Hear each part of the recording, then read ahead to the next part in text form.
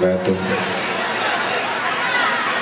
Kepada yang saya muliakan Hadratul Syekh Murabbi Ruhina Ki Haji Soleh Bakruddin beserta keluarga dan duriah yang saya muliakan para guru-guru kami, ustadz-ustadz kami, pendidik-pendidik kami yang ada di pertemuan majelis alumni yang saya muliakan kepada semua adik-adik, rekan-rekan, teman-teman yang saya cintai khususnya keluarga kami dan anak kami yang ada di sini yang masih mencari ilmu bersama teman-temannya di Pondok Pesantren Ngalah.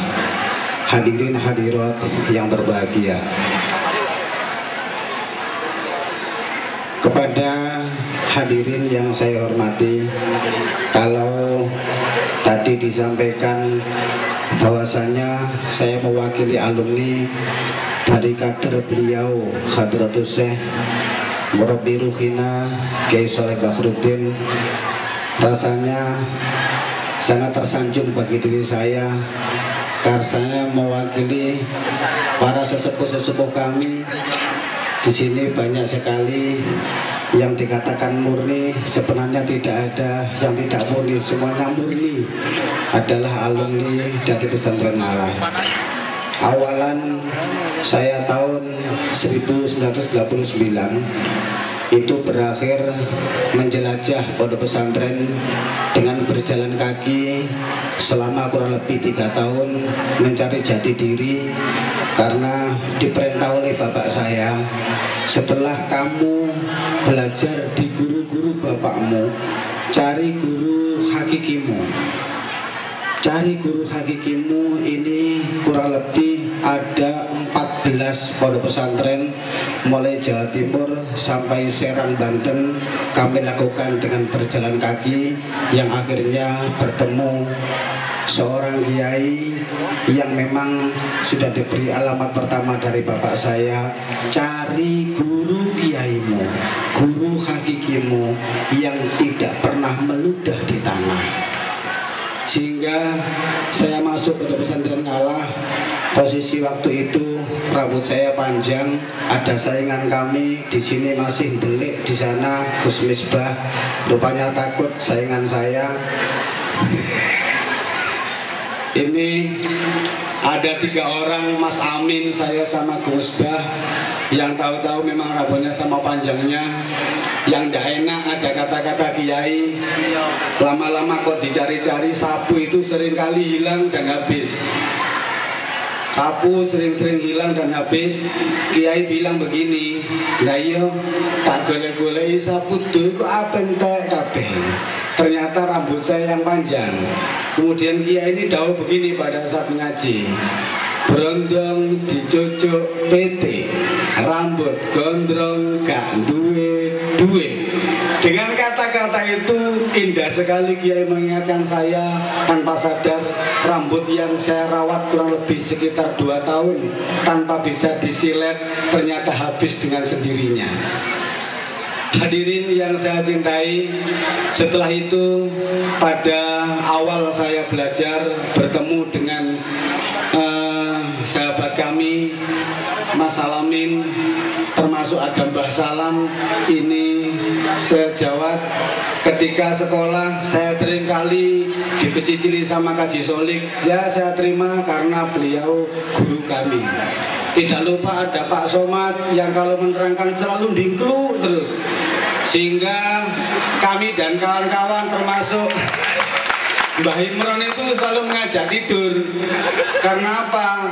Beliau menerangkan tidak tahu muridnya tidur semua Kalau tahu Assalamualaikum pulang sendiri itu pun sampai sepuh ngapun Pak Somad ini kami yang harus menceritakan diminta Cak Salamin kronologi belajar yang terbaik. Walaupun dengan begitu tuhunya beliau Alan Wasalan Gus Soleh. Ini bukan Kiai Soleh ini nasib Gus nih. Karena tuhunya mendidik atas perintah beliau sehingga mungkin dengan doa-doa beliau kami-kami ini bisa jadi orang. Tidak lupa pada saat ramainya perubahan pada dunia madrasah dunia waktu itu terlihat lamban dalam menyikapi gerakannya para santri-santri. Pas Romo Kiai pergi haji terjadi uh, walkout dari Sanawiyah atau Wusto yang dipimpin Bapak Abdul Salam. Sekarang ini pimpinan demonya. Waktu itu mohon ada perubahan dari dunia yang menangis awal menangisi kami adalah almarhum panyanipun Bapak uh, Kiai Sodik atau Pak Sodik Beliau menangis, jangan sampai hati kita sebagai guru jatuh satu rambut meninggalkan ilmu yang tidak mau kepada santri-santri atau murid-murid dunia. Sehingga Pak Sodik dengan teman-teman bancaan bareng-bareng di musolanya Mbak Jin karena kemenangan gerakan perubahan madrasah yang dipimpin Mbah Abdul Salam sehingga sampai saat ini takror berjalan, dunia berjalan dengan baik, tidak dengan sistem yang monoton. Yang berikutnya saya pada tahun awal selesainya madrasah dunia mengusulkan adanya uh, wisuda Madrasah Al Mustiyah pertama kali mohon diadakan karena sebagai jenjang kredibilitas madrasah diniyah yang semakin lama semakin tahun pasti akan ada guna dan manfaatnya sehingga tanpa sadar saat itu dengan bahasa guyon tetapi dengan serius ditangani sehingga muncul madrasah diniyah mengeluarkan uh, sarjana madrasah diniyah yang diberi gelar oleh Mbah Imron Rosati dengan gelar SMD karena tahu semuanya berkuliah Mbah Imron ini khawatir tidak disebut orang yang sekolah dengan selesai Sehingga gelarnya menjadi SMD Sarjana Madrasah Diniyah yang lain tidak berani menggunakan gelar itu, hanya Gusmus yang berani. Ketika saya mendapatkan haji yang pertama pada tahun 2003, saya ditanya sama pegawai bank, Mas SMD itu apa? Sarjana Madrasah Diniyah. Tetap ditulis sampai saat ini gelar itu masih melekat karena ngalah tidak bisa lepas dari hati kami. Allahumma Muhammad. Walaupun banyak sekali hal yang kami alami ketika saya kuliah tetapi banyak yang tidak tahu sehingga saya pun seperti Pak Ghazali saya punya gelar SAG Pak Ghazali. Tetapi bapak saya mengatakan Mustafa bisakah kamu hidup tanpa ijazah? Saya jawab karena penjenengan bilang bisa sekarang insya Allah bah kulo bisa hidup tanpa ijazah kalau kamu bisa itu tanpa ijazah, bakar itu ijazahnya. Sehingga saya bakar ijazah saya, baik yang kuliah atau yang SMA. Sehingga sampai saat ini pun saya tidak bisa mengikuti uh, ramainya euforia politik mencalonkan DPR kecuali yang sekarang yang mungkin menggebu-gebu ingin jadi DPR yaitu mana tadi Cak Soleh tadi nah ini Gus Soleh sekarang memimpin PKB Pandahan Walaupun saya di sekolah saya menyadari dengan ijazah itu ternyata Romo Kiai Soleh melihat dengan uh, hati dan bijak Mustafa sing manfaat ijazatul mursid. Yang sampai saat ini yang saya pegang adalah ijazatul mursid. Setelah Kiai mengeluarkan ijazatul mursid itu beliau menangis terseduh-sedan. Bahkan saya juga ikut menangis di hadapan beliau. Yang saksinya ada satu orang uh, santri dan tamu saya mendengarkan saya tidak akan mengangkat mursid lagi karena takut ijazah mursid akan digunakan sewenang-wenang dan tidak untuk menjaga akhlakul karimah seorang ulama dan kiai.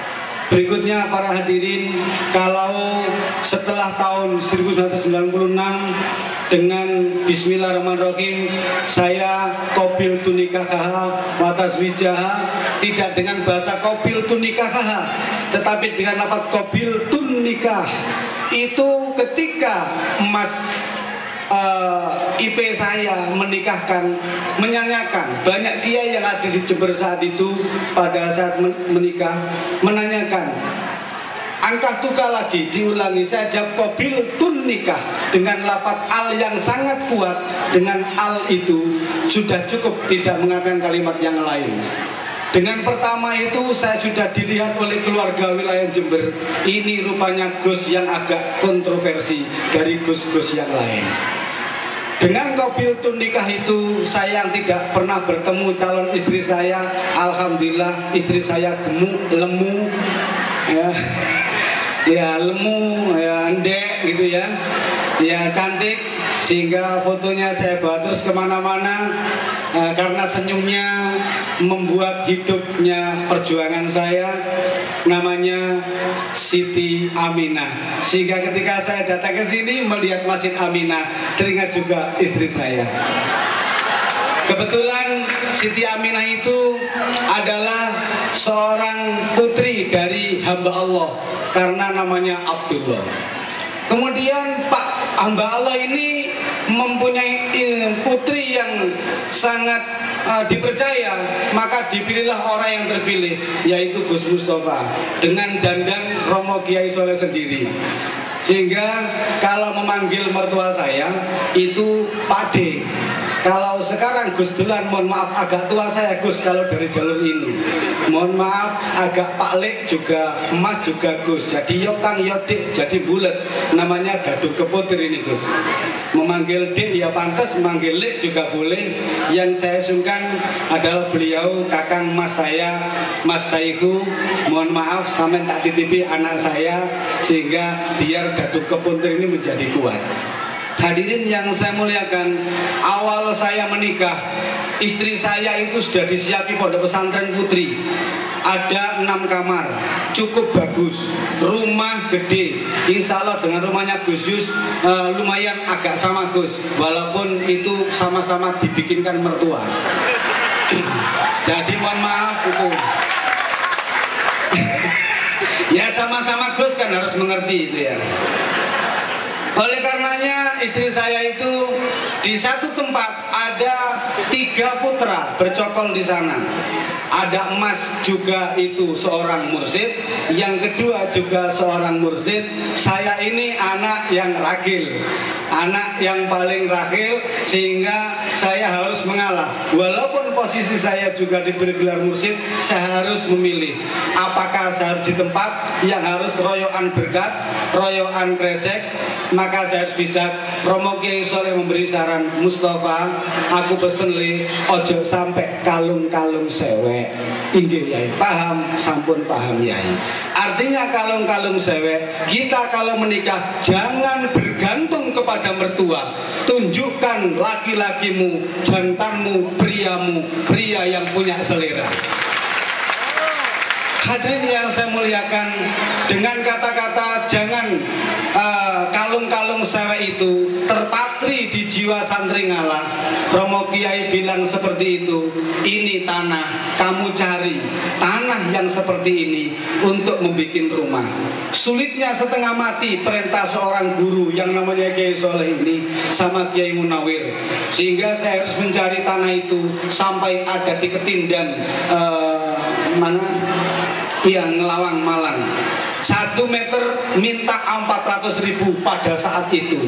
Kami tidak akan membuat rumah saja tetapi harus mempunyai tempat untuk bergerak berjuang demi ngalah tercintaku ini. Sehingga kami harus mencari ke mana-mana.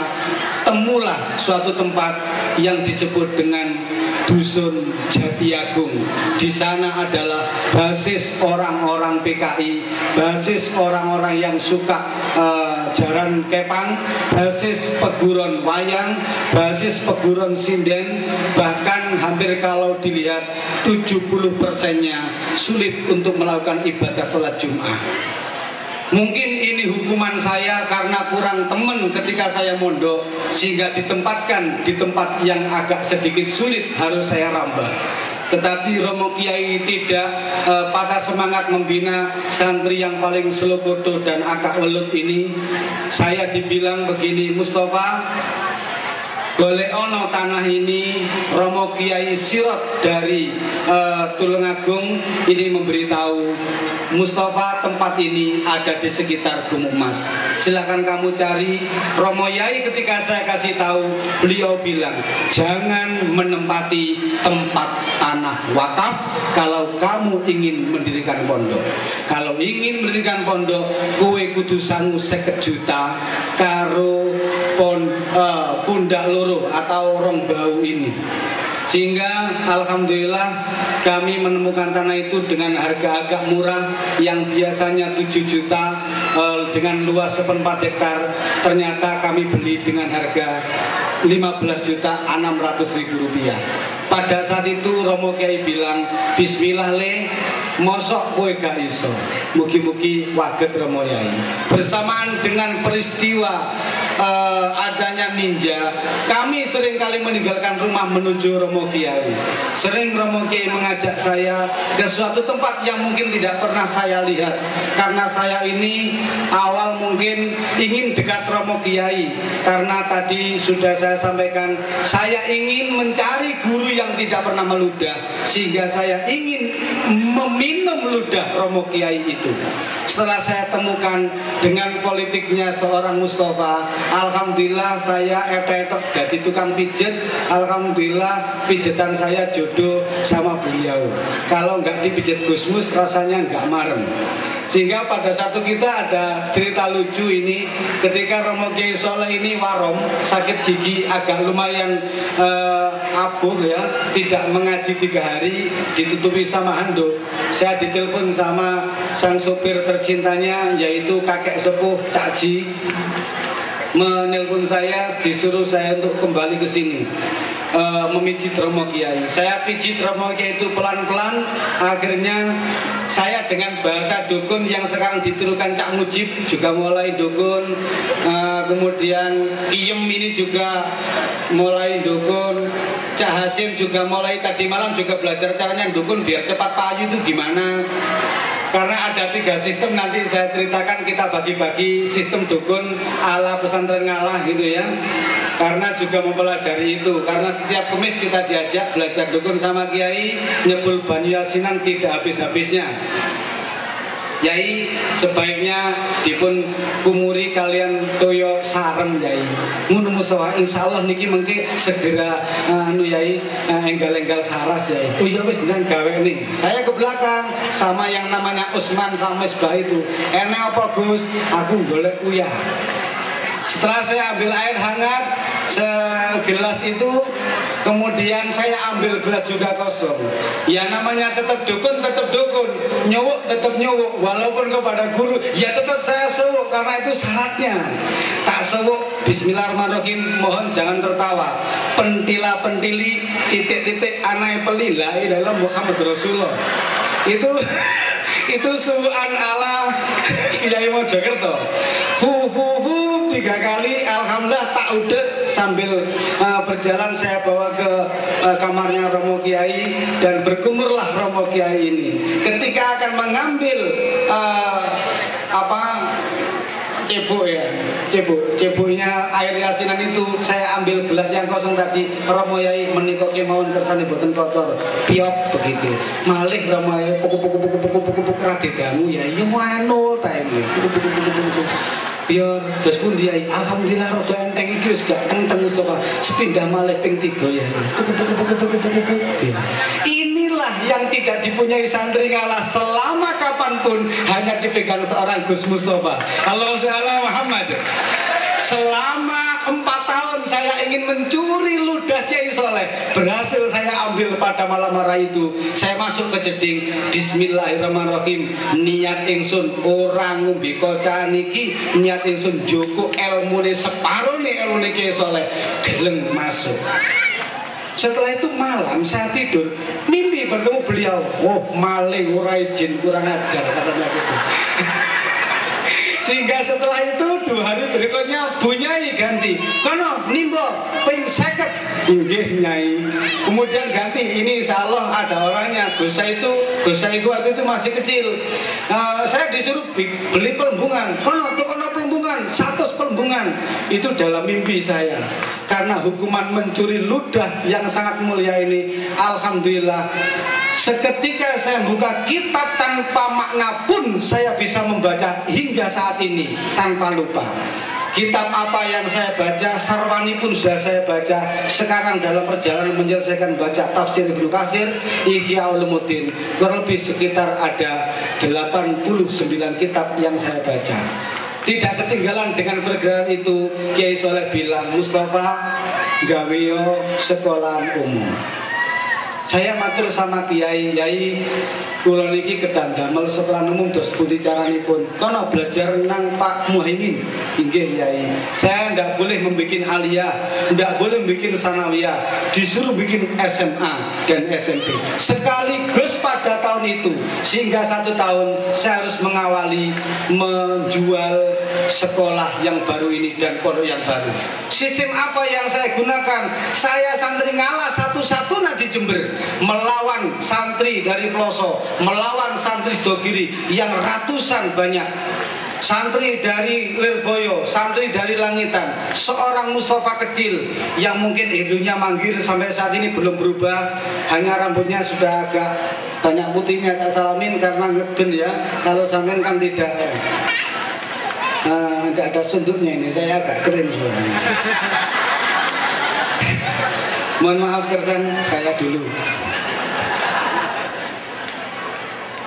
maaf ya sorry sorry ojo ngejer kiai Alhamdulillah. Yai bilang seperti itu. Saya agak ngedap karena apa? Pergerakan kami sendiri. Romo Kiai bilang aku biyen nang sengon yo ijen. Aku yo kate dibelek wong Mustafa. Aku yo disantet wong ben ping likur kalau Mustafa setiap malam tidak kurang dari 14 kali. Sehingga ada seseorang mau memondokkan putrinya ke saya saya harus menerima sembilan garapan panah pada malam hari ini. Kebetulan pada malam hari itu saya punya ilmu dari Romo Kiai. Mungkin dengan mijet-mijet itu saya etok-etok minta Yai gak menolak santet niku nopo? Nak nyekel niku berikun caranya ketok jen niku berikun yang sempat ngapusi Kiai Soleh juga ada di sini orangnya. Cak Halim ini ngapusi ini. Dia tidak tahu jin, ngomong tahu jin. Sehingga pada sore hari, njilim, ini kok yai, ayo. Di mana? Ini kok. Sampai yai ku kesel megap-megap sama Iya dihapusi satu orang ini. Kok mentolo jari saya. Biar begitu. Biar begitu. Terakhir, dan dilim, tenggini silang jenengan yai. Biar begini. Saya itu tertawa dalam hati ya Allah loh. Ini ada orangnya Cak Narawito. Dulu kalau saya panggil Cak Narawito ini saya ajak untuk bergerak memegang jin. Kebetulan ada kakek jabat yaitu Mbah Imam Rosadi, Mbah Imron Rosadi. Ini juga ikut bisa ngobati jin. Kayaknya kayak bisa, ternyata sebenarnya nggak tahu juga itu. Gini, saya tertawa dalam belakangnya. Oh, ini jin kok dikekeki loh nyapo. Pusatnya jin itu di mana kalau saya tahu? Pusatnya jin itu di belakang masjid, di depan makapnya Gus Bastomi almarhum. Di situ ada pohon jaranan, di situlah babuitnya jin di Allah itu ada. Sampai saat ini masih bernaung, santai-santai tapi kakinya lumpuh. Kebetulan saya harus berjuang selama tiga bulan penuh untuk melawan jin-jin yang gede-gede dan kecil-kecil itu.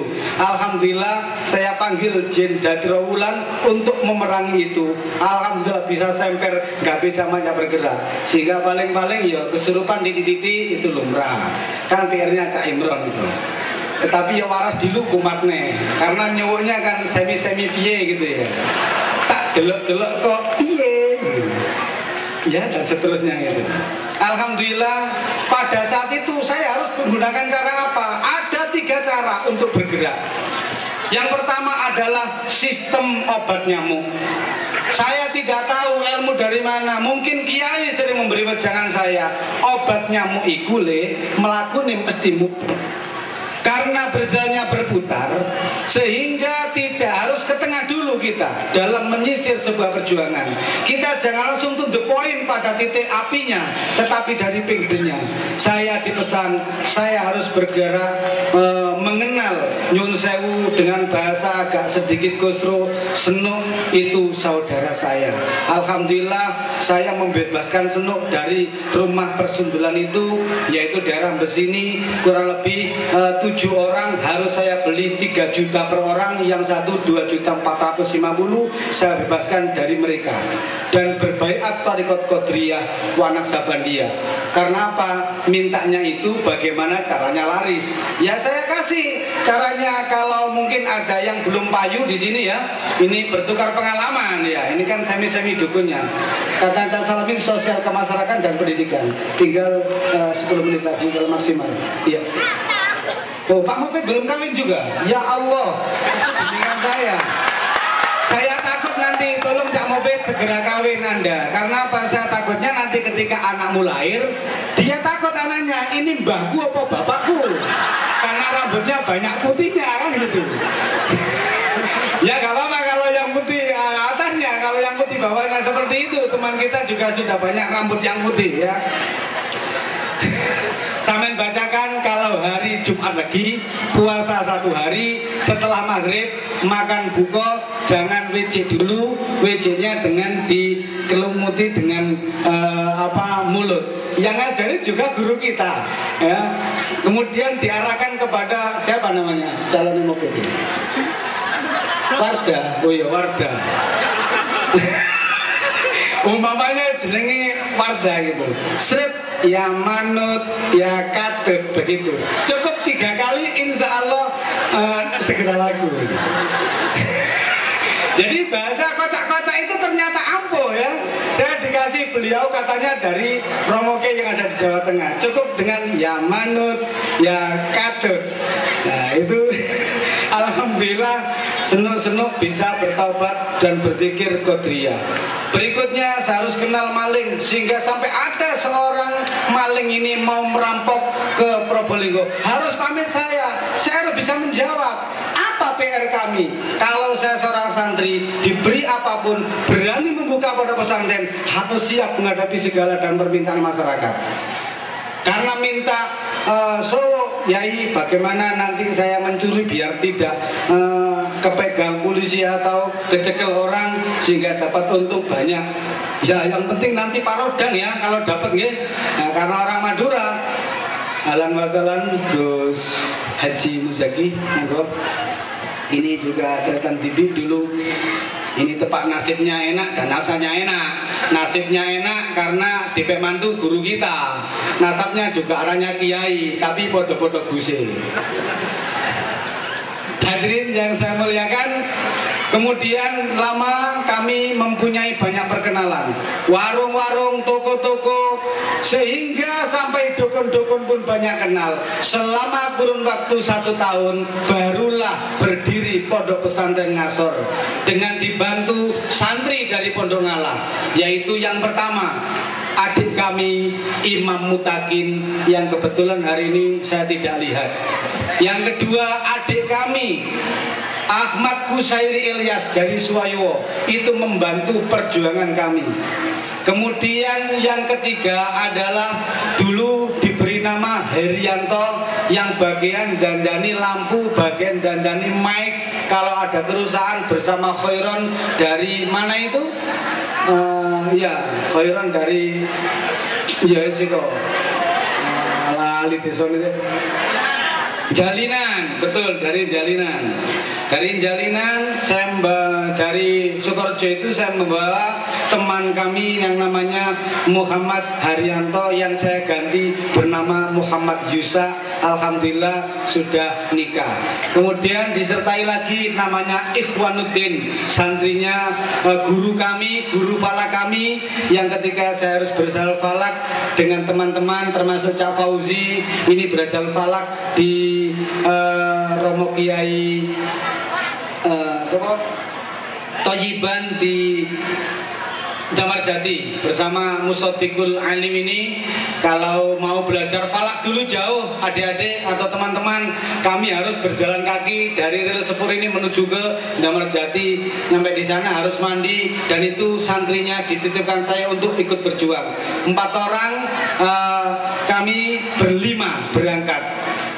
Berangkat pada tanggal 18 Sawal Yai perintah Mustafa kowe kudu gawe omah gede nek gak omah gede melarat dunia akhirat mungkin Gusus tidak siap untuk seperti ini Gusus karena saya anaknya Kiai siap saja Gus santri ngalah harus siap oke okay? okay. Tenang Gus, jenengan teman kami Gus, mboten napa-napa. Jenengan gedong kula tasih gedhek waktu Gus. Ya Allah melas Gus, wedaan bojo saya itu walaupun anak kiai, wedake katanya Romo Kiai, waktu itu saya nggak disambangi sama kiai. Satu tahun nggak disambangi. Dua tahun gak disambangi. Baru tiga tahun. Baru disambangi karena apa? Bisa ngerayu mertua saya Untuk pulang ke rumah kami Di tengah-tengah uh, persawahan waktu itu. Kue sok nih moro tua mule Baru kue gayo omah gedong Disambangi bersama kakang mas Saihu Kiai bisa menjadi kiai karena diambil menantu. Ya muka-muka kuat aja sing dungo moro tuane. Alhamdulillah karena moro sepuh ini kuat mendoakan Sehingga kita semua bisa apa yang saya sampaikan. Saya di Pondok Ngalah sendiri mohon Cak Salamin kami juga dibantu Mengapa kami hanya punya tiga kekuatan selain dari siri tadi? Knowledge saya juga punya, skill saya punya, saya juga punya performa. Ganteng tidak harus ketinggalan. Macak kudu pinter mas, ya. Ganteng harus bisa. Tidak hanya Gus Fadlan yang bisa macak, saya juga bisa Gus. Saya juga menantunya Kiai. Ceramah dagel juga harus bisa, jangan hanya ceramah monoton. Termasuk Pak Yakut ini sudah didatangi panitia Pak Yakut.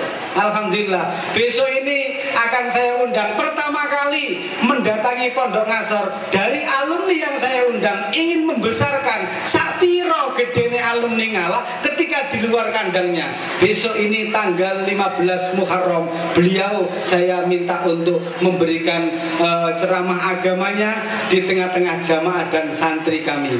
Ada santri, ada murid saudara. Kalau santri harus mondok dulu, kalau murid tidak harus mondok. Berat sekali menjadi murid. Makanya kalau yang sekarang hadir di sini adalah dikatakan selamat datang Kiai Mas Duki. Ini walaupun jelek-jelek sering ke sana ini Pak Jafar Tidak seperti sampean nonton bioskop dengan saya tapi nggak pernah nyambangi sana Walaupun kiai ini dulu juga pernah ditakzir ya, ini pernah ditakzir. Harus mengalami itu ya. Kalau soal pacaran, Gusmus paling banyak pacarnya. Karena gantengnya nggak ketulungan ya. Sehingga dari piringan ya tetap ganteng apalagi andeng-andengnya ini. Tidak banyak yang lupa. Foto-foto sudah tersebar. Kalau sudah punya performa tampilkan yang sungguh indah di hadapan siapa pun. Jangan sampai santri ngalah dinglu toh Tetapi harus tegas di hadapan siapa pun. Tunjukkan ngalahmu. Lirboyo biar lirboyo Peloso biar peloso Ngalah tetap santri ngalah Kemudian yang kedua skill. Kalau kita sudah punya uh, sebuah uh, apa namanya uh, uh, kalau sudah punya uh, pengalaman, gunakan pengalaman itu yang punya pengalaman jangan ditutup. Kalau samen sudah punya keilmuan, gunakan ilmuwan. Tiga-tiganya kalau dicakup, insya Allah alumni-alumni ini penjenengan semua akan jadi orang yang mulia. Insya Allah dengan berkat doa Kiai Soleh, kita semua mendapatkan ilmu yang barokah dan manfaat.